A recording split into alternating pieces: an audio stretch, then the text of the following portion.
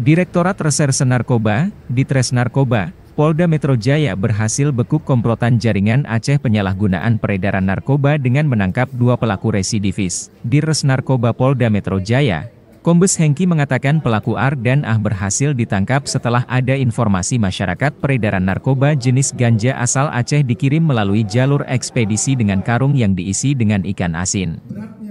Hengki menyebutkan dari kedua tangan tersangka petugas berhasil menyita seberat hampir 100 kg ganja siap edar berbentuk bata, barang bukti ganja disita, lanjut Hengki, dari hasil penggeledahan sebuah rumah kontrakan di Jalan Madrasah RT 5 RW 3, Kukusan, Beji, Kota Depok.